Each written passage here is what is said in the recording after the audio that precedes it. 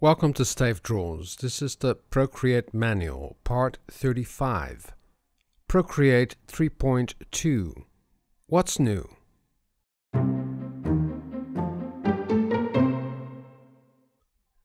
PSD import.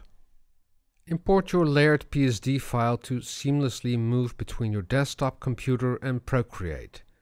Procreate will preserve locked layers, layer groups and more.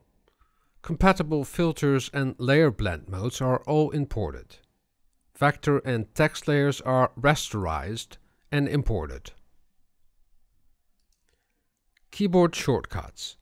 Access an array of advanced features instantly by pairing any compatible keyboard. Make sure Bluetooth is switched on. Tap to pair this keyboard with iPad. Connecting a keyboard. Procreate's keyboard shortcuts are usable with any connected keyboard. Just connect any compatible keyboard via Bluetooth or the iPad Smart Connector to start using keyboard shortcuts. Keyboard layout. Instantly access eyedropper, undo, the color wheel and more. Procreate's keyboard shortcuts are based on existing standards in other illustration software. To see a map of these shortcuts in Procreate, just hold the Command key.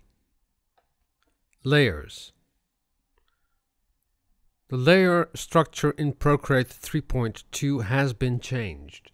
You now have primary and secondary layers. Primary and secondary layers. Painting, smudging and erasing will always happen on your primary layer. If you have multiple layers selected, any selection or transform action will affect all selected layers. Adjustments and filters cannot be used with multiple layers selected. Cut and copy actions will also only apply to your primary layer. Layer selection. Procreate has two kinds of layer selection, primary and secondary. Tap any layer to make it your primary layer. Swipe a layer from left to right with one finger to make it a secondary layer.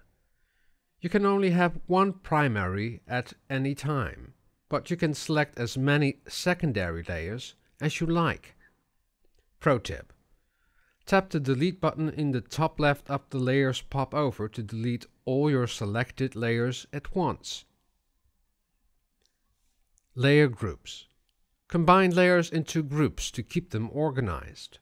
Create a group by dragging a layer and holding on another layer until the thumbnail is highlighted. Then release.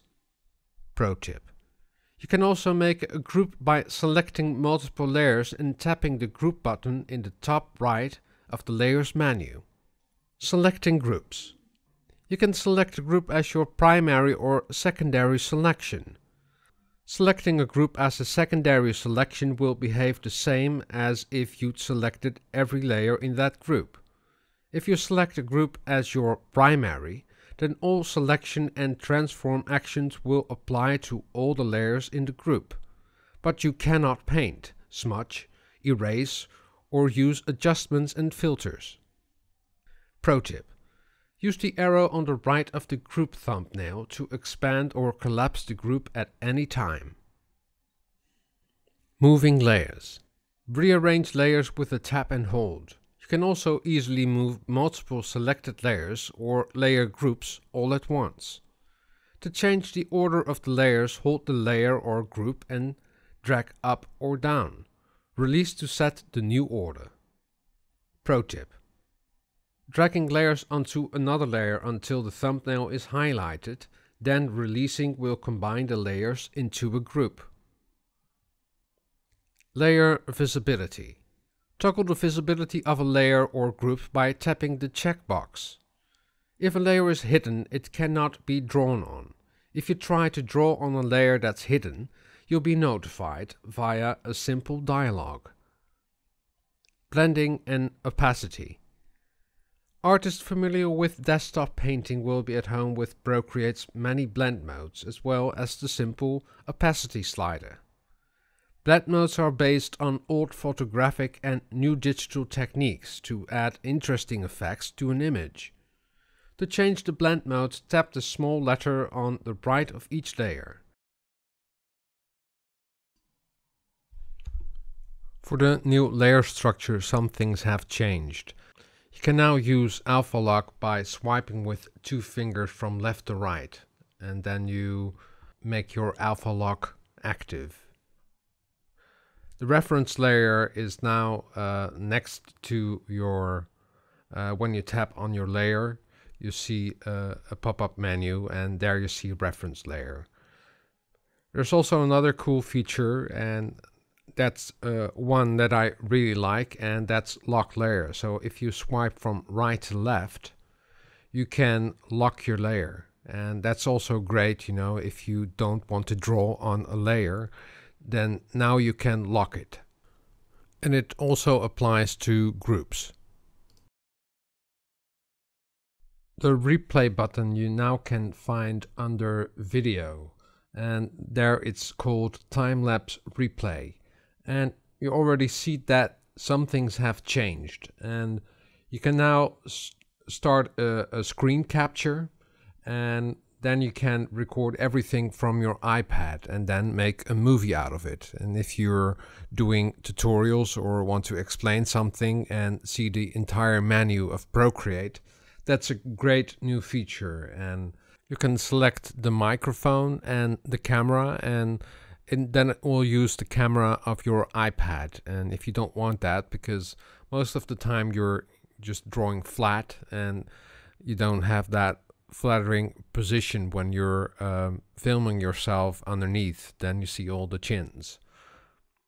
But it's a great new feature, so maybe you can use it uh, while filming yourself while you're drawing upright. The other great feature is that you now can start a live broadcast right from your iPad.